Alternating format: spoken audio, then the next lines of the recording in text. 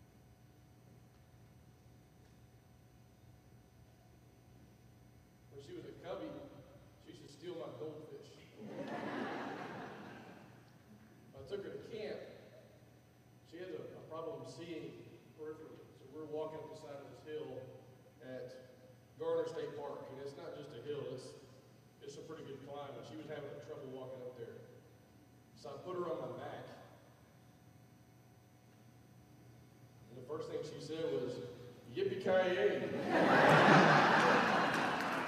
so I started running a little bit, for about ten feet, and I had to stop, and just keep moving. Madeline, you're a very special child to me, I just want you to know that. Don't be like your sister and ignore me when we pray. So now I challenge Pastor Matt with the youth. Pastor Matt, you promise and pledge to continue her growth and and her spiritual growth and teach her the Word of God as she moves up into the youth. All right.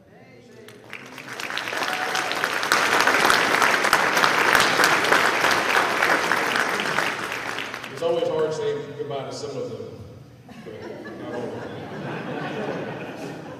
Before I get into this next thing, uh, I just want to just put a Awana party tonight.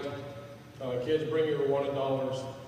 Parents, you're not doing, we're not doing lift tonight, so you're welcome to come by and just enjoy this time with the kids. Just, we're gonna have pizza and sugar drinks and nothing sugar-free at a Awana party.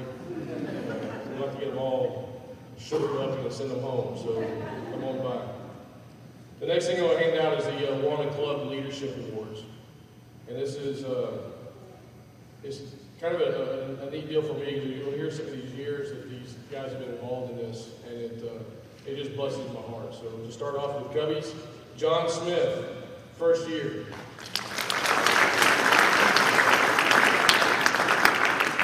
David Lowry, who can't be here today because he's, he's kind of ill.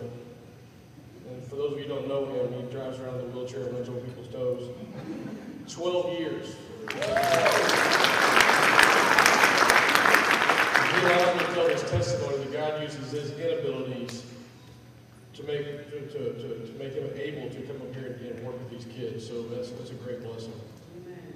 Gordon Morrow, two years. Strickland, two years. I asked them earlier this year if they would be our Cubbies leaders, and they denied it, said they had other more important things to do. So what I use them for, I call it when I, when I have a gap, I need some coverage. So I, I pulled them in anyway, even though they denied it. So Lisa Knapp, seven years, Sparks leader. Giovanna Pritchett, Sparks leader, first year. Robert Pritchett, first year, Sparks leader. Now here's my favorite one to always, not, she's not my favorite person. She's always hard to find. Melanie Harris, 31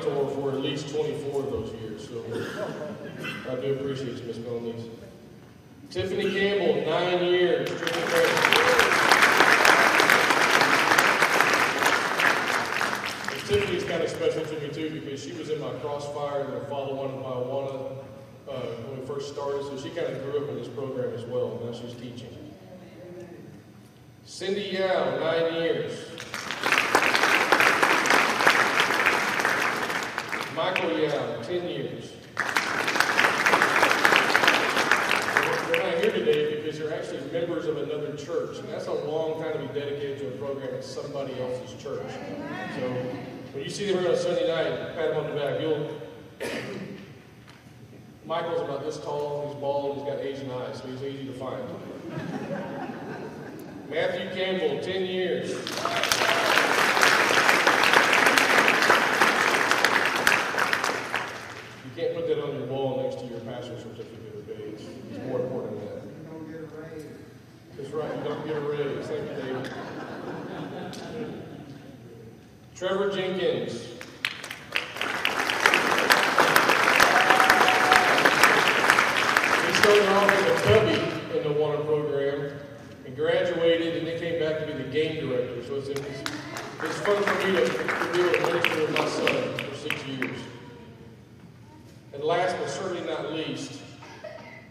the person that holds this whole club together. Behind the scenes, always making sure things happen.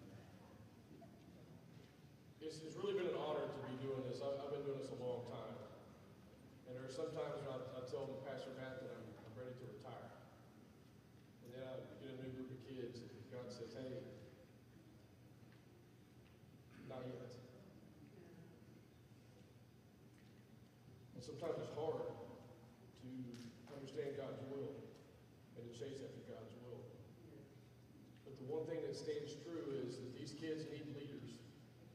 They need people or adults that are interested in their lives to mentor them to become young people and young adults in this world to carry on the torch that God has planned for them. Yeah. So I challenge each, each adult. It's one of the reasons we did this on Sunday morning because we did this on Sunday night or Wednesday night. Nobody shows up. And these kids work really, really hard because it's not just walk up and for God so loved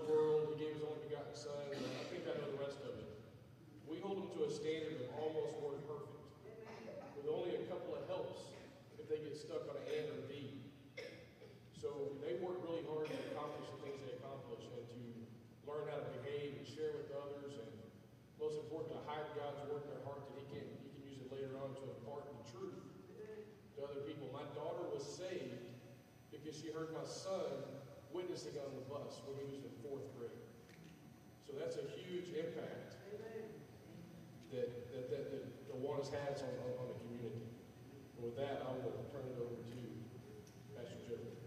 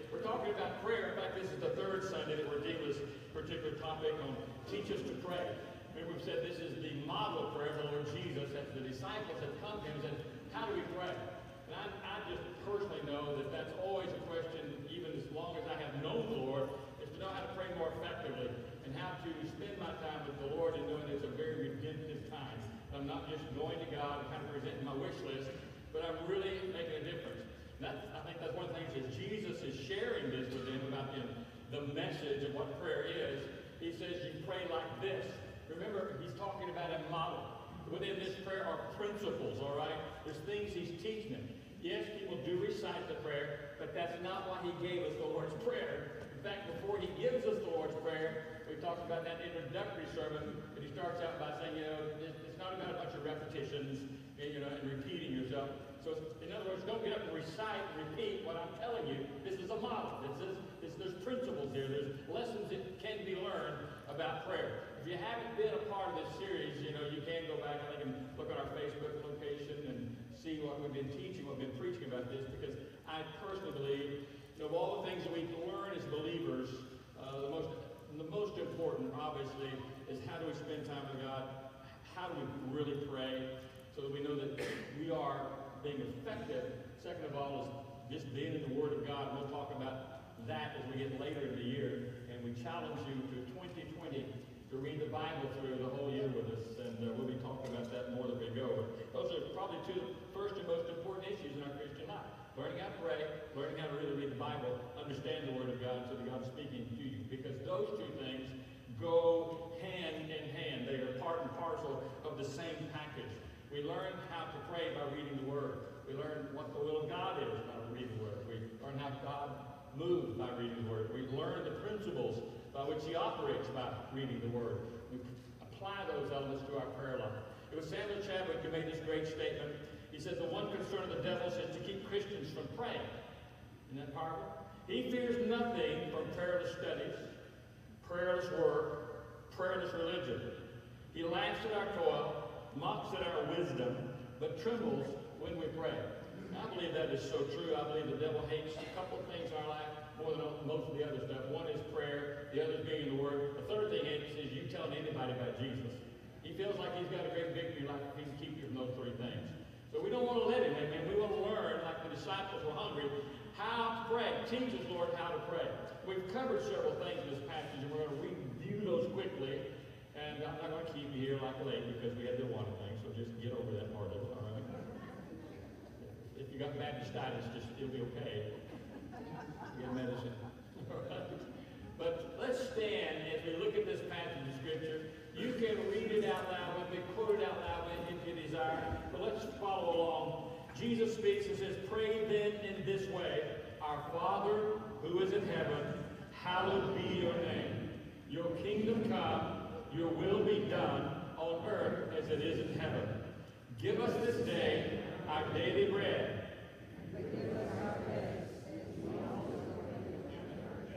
And do not lead us into temptation, but deliver us from evil. For yours is the kingdom, and the power, and the glory forever. Amen. Praise the Lord. Give the Lord a hand. You We talked about in the introduction, this first couple of verses here, that first part mostly has to do with worship. Our Father. There's a relationship that we've entered in, we're in a fellowship with Him. Who, who art in heaven, you're exalted, you're above all things. And so it's a matter of praise and adoration. So we're honoring the Lord in the first part of the just lift up and recognize that He is a holy God. The second part of the prayer, we closed with last week, talks about intercession. Thy kingdom come. What does that mean? We talked about in the context of the millennial reign of Jesus Christ. When he comes, his kingdom is established on the earth. Right? That day's coming. And the idea, in the way the Greek is written, is come, Lord, now. All right? Establish your kingdom. The, the famous uh, New Testament greeting of the first century church was Maranatha, which means come quickly, Lord Jesus. The apostles write often throughout scriptures, come quickly, Lord Jesus. And book of Revelation closes with that, come quickly, Lord Jesus. That should be all our prayer. But it's also, he said, in the context of intercession, it applies to the kingdom being established in people's hearts and lives. We have entrance into the kingdom by new birth, Jesus tells us. We come into to the salvation experience, and as we're born again in Christ and through Christ, we're brought into a whole new world, and we're part of now the kingdom of God. That kingdom will ultimately be established on the earth. The third part is what I want to deal with today in this prayer, and it has to do with what a lot of people think of in the context of supplication. You just go back real quick. Supplication. Supplication we think of like that word supply. Lord, supply my needs, you know. And he goes in and talks about it, about our daily bread and meeting those needs. But supplication is an important part of prayer. There's a, the adoration, you know, we're recognizing God, we're praying for the kingdom of God. And we get to this point of my needs, of the needs we see present being met. You think of, Lord, supply this. But it might surprise you to understand an important part of supplication is not only that part that we'll talk about our daily bread and those things, but supplication for the will of God to be done, all right? That God's will overall would be established. One thing I've learned over the years, and praise God for great Bible teachers and preachers who mentored me in the early days of my life and my salvation and my walk with Christ and even in my ministry, who taught me some very important principles about prayer. Uh, John Stern, my nephew, was talking this morning. We were making reference to Mickey Bonner, who had some of the greatest teachings on prayer that I, think I've heard in my life, and it impacted my own personal life in more ways than I could probably take the time to tell you today. But he made this important part about prayer, and I think it's relevant to this message, especially at this point, about God's will being done. He made the statement that prayer, you know, the key to answer prayer is just praying according to God's will in our life. And we understand God's will, we begin to agree with God in prayer. That the purpose of all prayer ultimately is to see the Father's will done. And Jesus is making that point clear. We pray that kingdom come, Father, your will be done. Your will be done on earth as it is in heaven. And all throughout the life of Jesus Christ, you see this principle being reinforced. That this whole issue about not only our prayer life, but our life ultimately, is that the will of God would be accomplished in and through our life. And the key to having our prayers answered is learning how to pray according to the will of God. That is the real key to answered prayer. Let me just share this passage with you out of John in chapter 5, 19 through 20. It says this Therefore Jesus answered and said to them, Truly, truly, I say to you, the Son can do nothing of himself unless it's something he sees the Father doing. For whatever the Father does, these things the Son also does in like manner. For the Father loves the Son and shows him all things that he himself is doing, and the Father will show him greater works than these, so that you will marvel. Inside story. Here's Jesus giving us a simple principle, which a lot of people never grasp. When he says, I can do nothing of myself, he says, excuse me, you're the God man. You're the man God. You're, the, you're humanity, but you're possessed by deity, but you are God. What do you mean you can do nothing? It's not the fact that he could not, it's that he would not. He, he's not. But Jesus never acted independently of his own accord. It was always according to the Father's will. What does the Father want to do? In fact, Jesus is saying here, I live by what I hear from the Father, what I see the Father doing. That, that's why the disciples were noticing in prayer, and how Jesus prayed, they're saying, teach us to pray. Let us know how it is to live. I, I think even a deeper lesson here is, is for us to understand that Jesus clearly showed us the way to live our life is by faith. Because that is the way that Jesus operated while he was in human form. He lived his life by faith. What do you mean? What he says here is I do what the Father tells me to do. I do what the Father reveals to me. The Bible tells us faith comes by hearing, hearing by the Word of God. So faith is hearing what God wants and responding. My response to what God wants is my faith in action. Jesus lived a life of faith. We say it again. He, he lived by faith. And he teaches us to live by faith. Could he have operated on his own? Yes, but he said, I don't operate on my own. He's God. But he's not going to violate that relationship because he is God. So that means he couldn't make it, all right? Now, this is an important lesson because if you miss it, you kind of miss the whole context of, you know, of Jesus' life. He was tempted such as we are, the Bible says, but without sin. Why? Because he chose to live by faith. He operated according to God's word, according to God's will, according to God's plan. That's what God has called us to do. Let me share this verse with you from the Amplified Bible. If you read it, kind of squash the print a little bit. It says, So Jesus answered them by saying, I assure you most solemnly, I tell you, the Son is able to do nothing of himself, of his own accord. He's able to do only what he sees the Father doing. For whatever the Father does, that's what the Son does in the same way in his turn. The Father dearly loves the Son. Don't you love that? By the way, the Father dearly loves you. He knows your name. Amen. the Father dearly loves His Son and discloses to and shows him everything that he, the Father, does. And he will disclose to him. Let him see greater things than these, so that you may marvel and be full of wonder and astonishment. You see what he's saying here? I'm just responding. This is why prayer was so important to Jesus.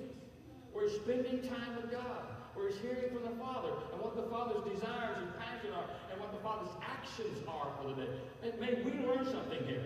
How important it is for us to hear from God in our life. How important it is for us to be in the Word of God so we know when we're hearing from God. So Jesus, he's, saying, I only do what, what he tells me. There's a passage in Matthew 18 that gives us the same kind of concept, but the King James Version isn't the most accurate translation of this passage in Scripture. Uh, let me go back to, uh, let me get John 5.30, because it, it, builds on what John 5, 19, 20. But let me read this. I'm able to do nothing for myself, independently of my own accord, but only as I'm taught by God, as I get his orders.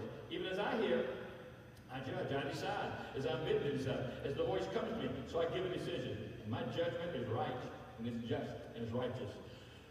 Excuse me, because I do not seek, I consult my own will. I have no desire to do what is pleasing. You can read it to myself, my own aim, my own purpose, my own will, and the pleasure of the Father who sent me. Man, what a lesson for us. what a what a moment to step back for a moment and ask yourself, how much of what I'm doing today is really according to what God's will is for my life? Am I listening or hearing? Am I paying attention? Thank you. To what the Lord's saying, am I, am I, or am I resisting? Is it not really about not thy will be done, but my will be done? Is there an element of stubbornness in? And I, I really think that is a big part of it. But when you look at the life of Jesus, he's hearing what the Father says and he's doing what the Father wants. I said Matthew 18 is a passage which is, uh, the Catholics have kind of certainly taken this out about remitting sins, all right? Whose sins you remit, they'll be remitted. Context of the passage really here is not about what I do, it's about what does God want me to do in Matthew 18. Verse 18, Verily I say unto you, whatsoever you shall bind on earth shall be bound in heaven, whosoever you shall loose on earth shall be loosed in heaven. If you read the New American Standard, that reads a little differently. It says, whatever you, you whatever shall have been loosed in heaven shall be loosed on earth. Whatever shall have been bound in heaven shall be bound on earth. The Amplified gives it a little bit more rendering to say, gives a clear meaning says, I tell you, whatever you forbid and declare to be improper and unlawful on the earth must be what is already forbidden in heaven. And what you permit and declare proper and lawful on earth must be what's already forbidden in heaven. What's he saying? You need to act according to the will of God. You need to act according to what God wants. That's not most people's life. We want we, we kind of put it out there, I want to know what you want, but I really want to see if I really want to do that or not. Not too difficult not too inconvenient, not too stressful, not going to cost me too much, yeah, then I'll make a consideration. But that's not the life of Jesus, is it? Jesus did only what he heard. Jesus did what he saw, which was the work of God. And he said, said I'm doing these things, and I'm going to do more of these things, and you're going to freak out. That's the George translation. Marvel. All right? And then we're freaked out. I mean, I'm freaked out when I read today. That's mind-blowing. But when he went on to say, but greater works than these shall you do. Whoa, how's that going to happen? Is we here? It wasn't greater necessarily in the quality, but in the quantity is what it's talking about. Because there's more of us than there was of Jesus. All right? We're all over the globe now. We're Christians all around the world. What if Christians all around the world just start hearing from God and doing what God wants them to do and praying that way and living that way? Man, it would be astounding. And it is astounding what's going on in the world today if you back and take a look. But you might come to this point and say, yeah, but yeah, pray according to God's will. I don't know what God's will is. Some of you are facing some things right now in your life. You know, you should have to pray about it. You know what you want. You know what would suit you. What would feel right, amen. Oh, I need more money the bank. Whatever it might be, I need a healthier body. We can go through the list. I need my kids to straighten out. Need my wife to act right, my husband to himself, whatever it might be. Right? Everybody's got a list. But what's your will? And how do I know what your will is? This is the beauty of this model prayer. Because even the model prayer, if you step back for a little minute and look at he gives us insight how we can know the will of God. You say, oh, how's that? Let's just take a step back. We spoke on the first Sunday about our Father which art in heaven. You want to know God's will? Here's where it breaks down. It starts out just the same way from the Lord's Prayer. You take a look at it. What does it say? It's our Father which art in heaven, hallowed be thy name, thy kingdom come, thy will be. Okay, let's back it up. It starts with the first part, our Father. There has to be a commitment. You know, there, if you had this commitment to the Lord, then you can rest assured that the Lord is committed to you. In fact, you better praise God that His commitment is greater to you than yours is to Him. Amen. Paul said, even when I've been unfaithful, He's been faithful, and He's remained faithful. So if I want to know God's will, it starts with this element of commitment. It's a relationship first. People want to know God's will. But if you don't know God, you can't know God's will. Does that make sense to you? You have to have this relationship established from Him so that you can understand it. And in coming to Christ, being born again, you, you receive the Holy Spirit, you receive an insight, and receive an inside teacher called the Holy Spirit to give you insight into the Word of God. So it starts first and foremost, you got to get my heart right with God.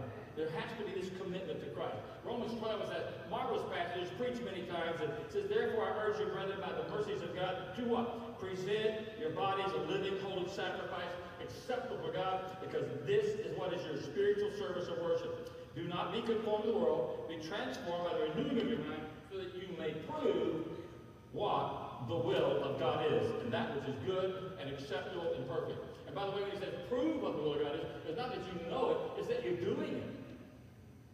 You know, the, the, the beauty is in the action and the fulfillment of God's will in your life. So what do I do? There's a commitment body.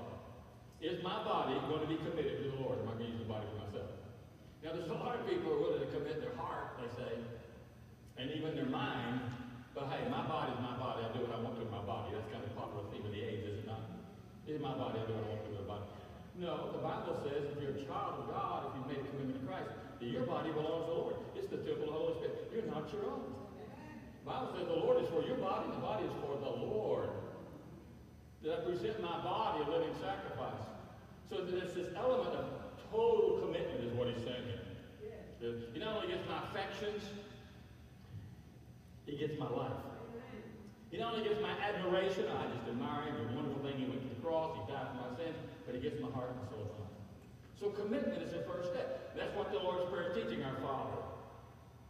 There's this relationship. You want to know God's will? And just put everything on the altar with Him and surrender your heart to Him, and you get insight begins to happen in your life. Renewing of your mind begins to take place. A capacity to understand the Word of God, a capacity to understand the will of God, an ability now to perceive things as you understand and see what God is doing in your life and through your life. The perfect will of God. The second part of this prayer says, Thy kingdom come. So it's not only a commitment to Him, there's a commitment to be in the kingdom and a part of the kingdom work. It gets down to my way or His way. It's not my way or the highway. It's my way or His way. Philippians puts it this way Let this mind be in you, which was also in Christ Jesus. What was the mind of Jesus? The attitude of Jesus was submission, faithfulness, obedience, and love, compassion for his heavenly Father. You just reading those passages from John 5, 19, 20, and verse 30, you just see it flow, yes, with abiding and, and, and, and commitment. But there's this, the Father dearly loves the Son, the Son loves the Father. Flows from our heart and life. That I can say out of love, your kingdom over my kingdom, your will over my will, your way over my way. Proverbs 16 talks about rolling your works upon the Lord. The Bible says that he will change your thoughts. King James says, commit your way into the Lord. He'll establish your thoughts. What is what are we saying here? It's the same principle. It's all on the altar of the Lord. And as I'm doing that, then God begins to give me his will, his mind. I begin to understand things. I begin to perceive things. But if I'm so stubborn and so intent on my way over his way, and my prayer life is going to him and trying to get my way over his way, man, what a waste. It's not going to happen. It's a miserable waste of effort and strength and energy. When we come to this place, we say, all right, Lord, I'm going to roll my works. What is this? The load I'm bearing is what that's a picture of. It's a picture in Proverbs 16 of someone's carrying a load. And then someone comes along to help bear that load, and they literally roll that load over onto somebody else so that now the load has been shared. The Bible says, cast your cares upon him, for he cares for you.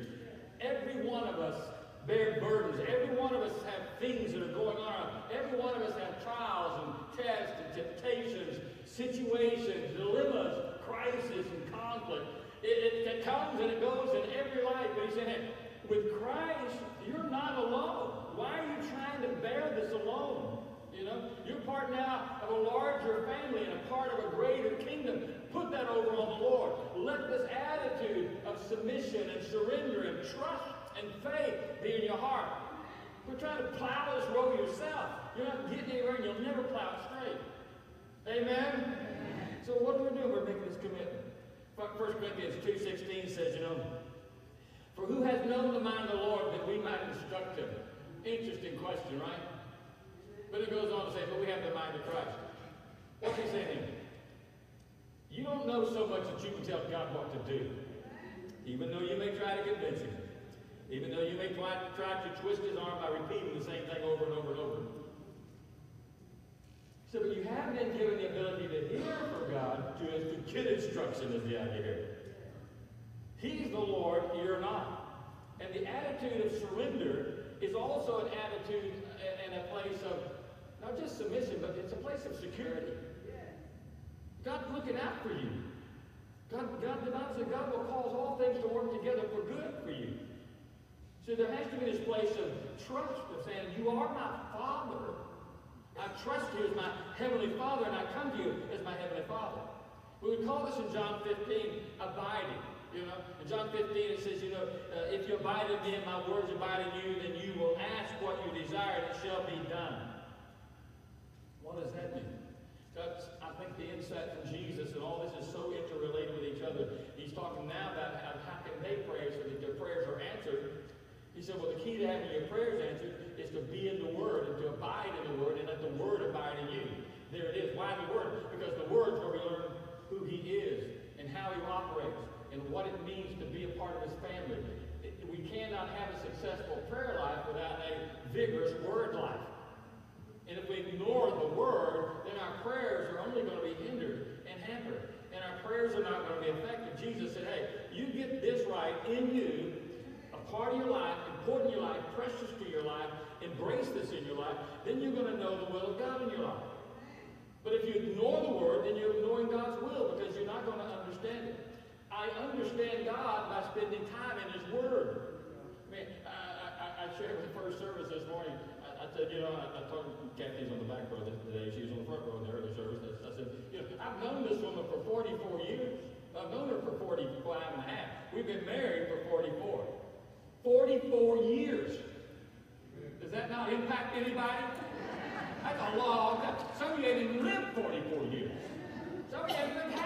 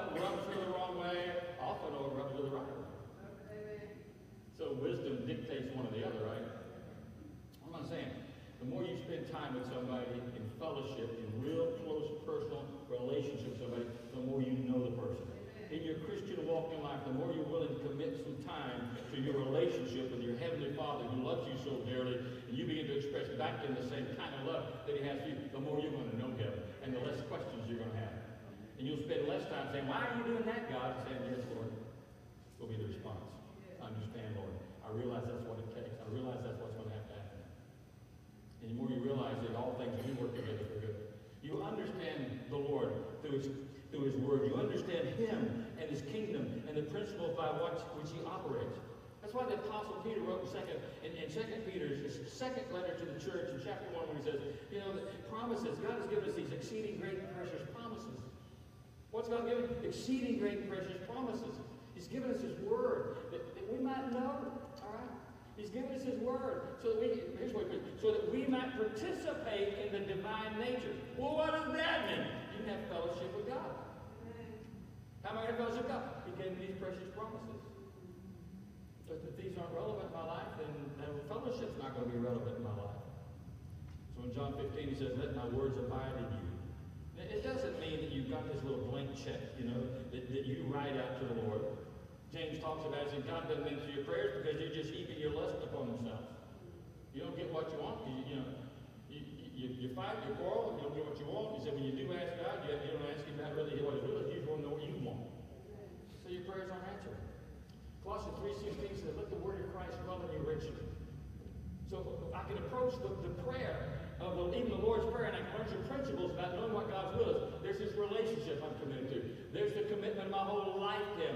I surrender my will to His will, my kingdom to His kingdom. And the third part, I don't want you to miss of this, is really gets down, it, it all ties in. It calls down to this obedience to His will, you know? That it is His will. First of all, there's this commitment to Him.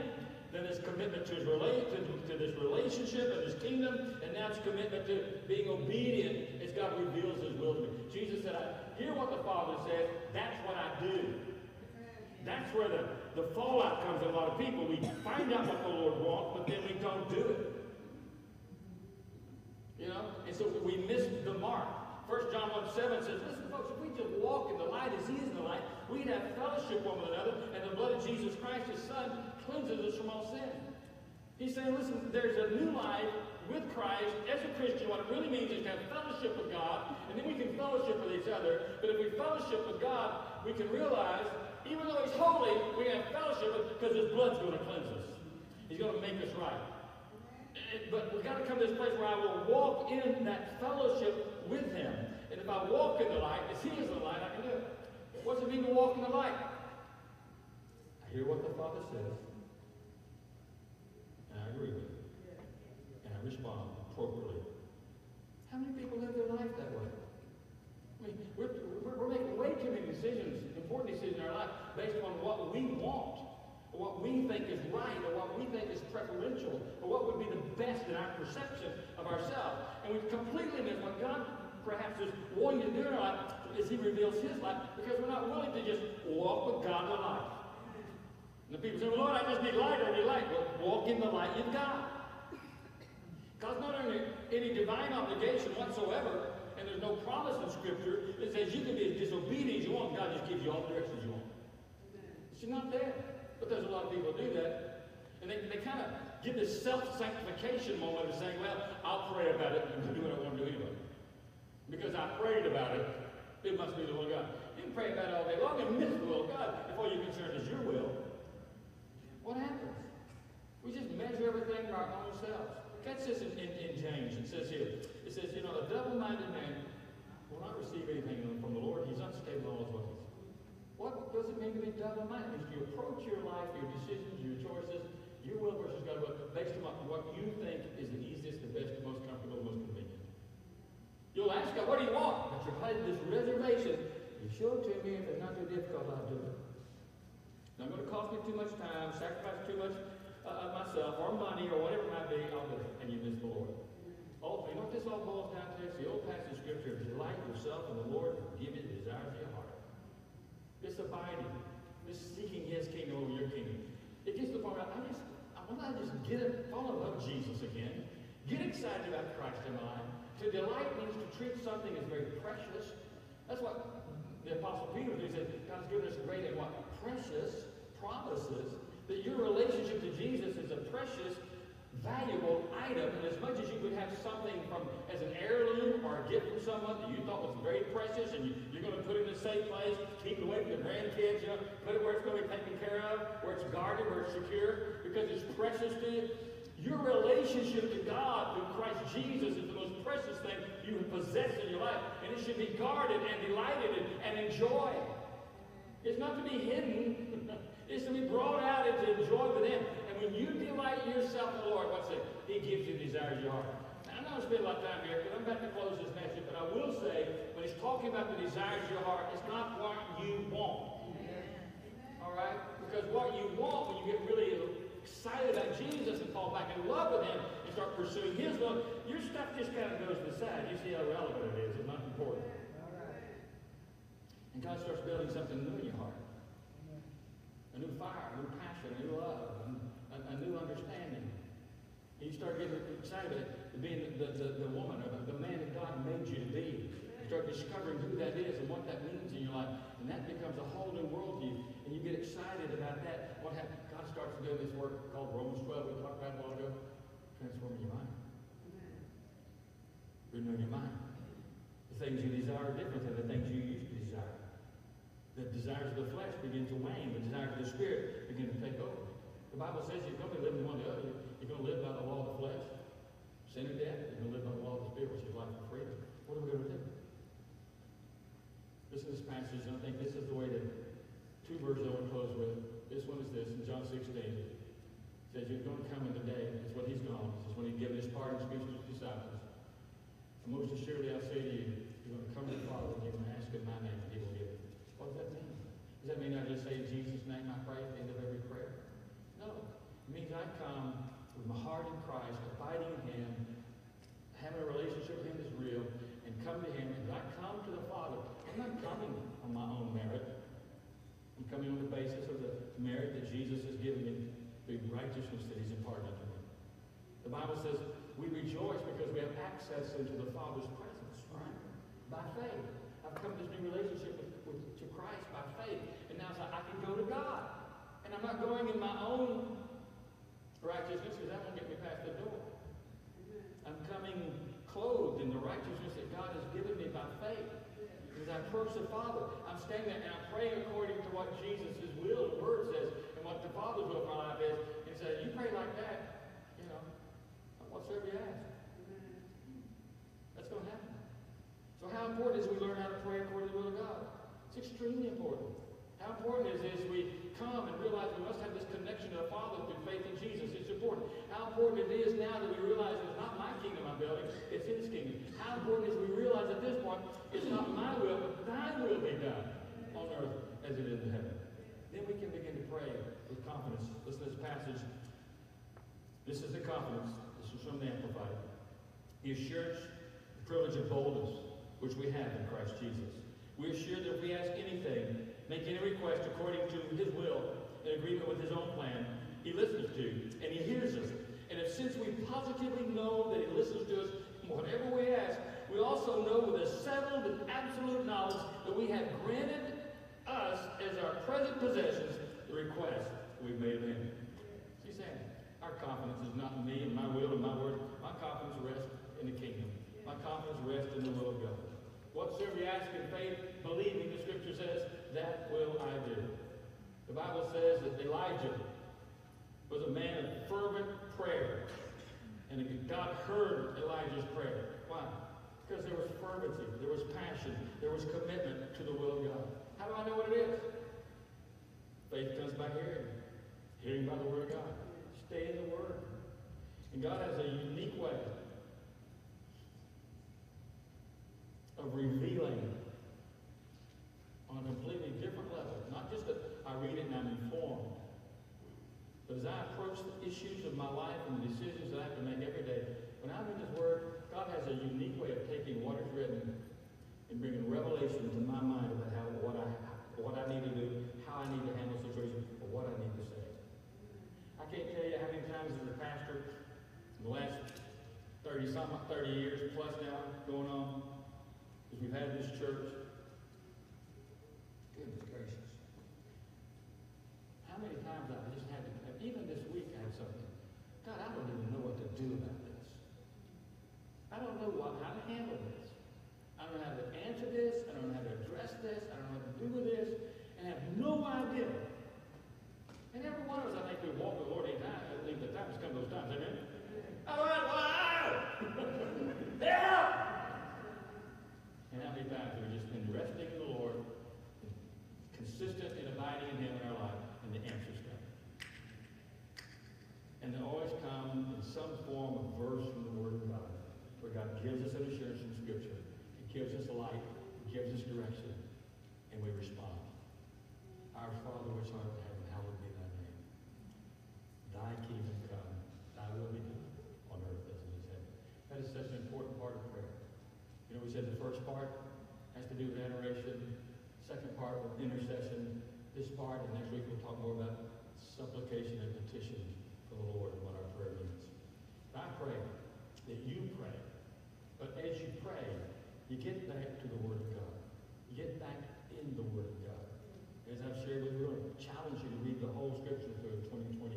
As a church, we go through the Word of God together and reading it every day. Several chapters a day. You can read through the Bible in a year very easily. I want to encourage you, we'll be reading the chronological Bible so that we're reading it in the order which is actually written. Because it's not laid out in the order. I mean, First Corinthians written before Matthew. You know. So we'll be reading it in the chronological order in which it was written. So these are such important elements of our walk. But the more you pray, the more you read, the more those two combine, you find yourself just praying a lot of scripture in your life. Amen. And there's times I don't even know what to do. I'll just prayers the Bible and pray those. There's a lot of a lot of Psalms, some of Paul's prayers. Just pray those. And see what God does. Hallelujah. So you gonna pray this week? Are you gonna pray this week? Are you gonna pray today? Amen. Don't just pray for that guy that's going 10 miles an hour slower than he should be in front of you. One always has to pray for. Well, let's just believe God together. Let's stand together. I'm going to close this with a word of prayer. I'm going to ask you to be seated after that. And we're going to have some few uh, announcements we need to make that are very important. Father, we love you. We thank you for your goodness and your grace to us. And Lord, we're all standing here before you. You know our prayer lives. You know where they suffer. You know where they're strong. And Lord, I know that sometimes in our life you just move to get us to pray. But I pray that we wouldn't have to be moved into that position. We just willingly, like Jesus, come to that place recognize that you're our loving Heavenly Father who love us dearly. And you have a word, and you have peace, and you have comfort, you have direction, you have strength and power and life for us. And we look to you in every one of our situations and believe. And we would act accordingly in faith. In Jesus' name. Everybody said,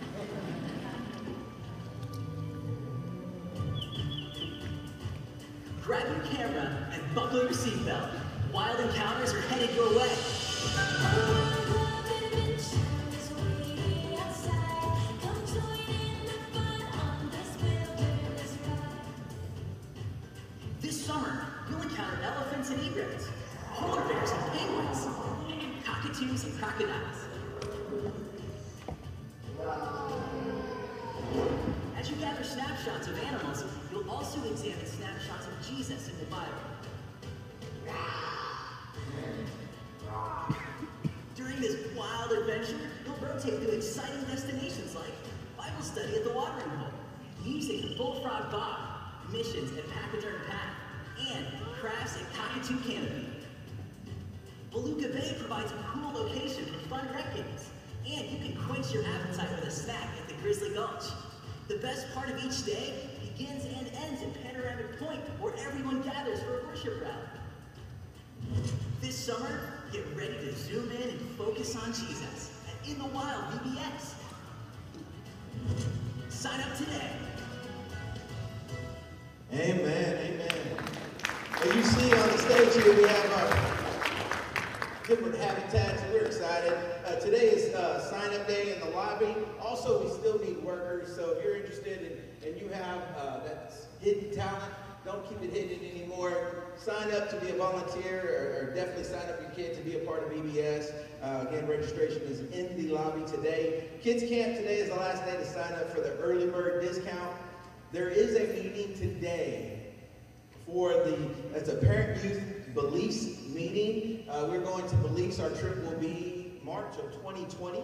And so if, for all youth and parents that are interested in going, Uh, there will be a meeting today at 4.30 here in the sanctuary. I think the bulletin says right after lunch. That's incorrect. It's at 4.30. Uh, don't forget Wednesday night. Wednesday night, uh, um, we're going to have a great message. Great message.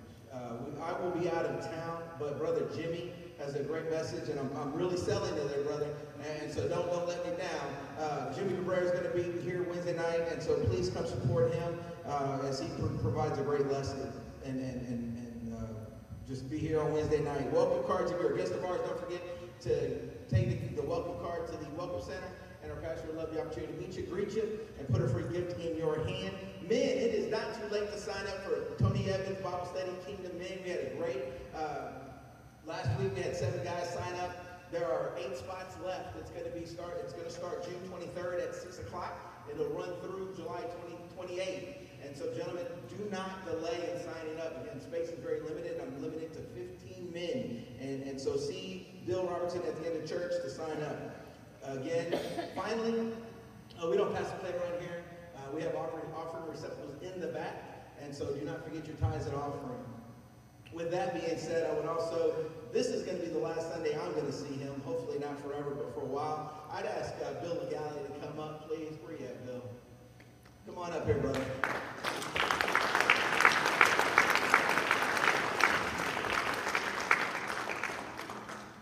Bill is uh, is going to be leaving us for a while. He's going to uh, back back home to American Samoa. Uh, he leaves this Saturday, and brother, 20. I've known Bill 21 years. It goes all the way back to 1998. Uh, we started teaching together at uh, a little known charter school, and well, we cut our teeth there. Uh, Houston Can Academy, and Bill, 21 years later, you invited me and my family to church. You, uh, you were there for a lot of talks, th- this church, that's right. A lot of talks, a lot of mentors, uh, mentoring, both uh, professionally and spiritually, and I just appreciate everything you've done. And as a church, we appreciate you for everything that you've done. Always a willing servant. We needed a lift leader, you signed up. We needed somebody in the band, you signed up. And, and you never let us down. And so thank you for that. Thank you for all you do. And, and so from the church to you, you know, I'm going to mispronounce it. Manui Lane which means have a, have a, have a good journey. We hope to see you soon. We're praying for you, brother. We love you.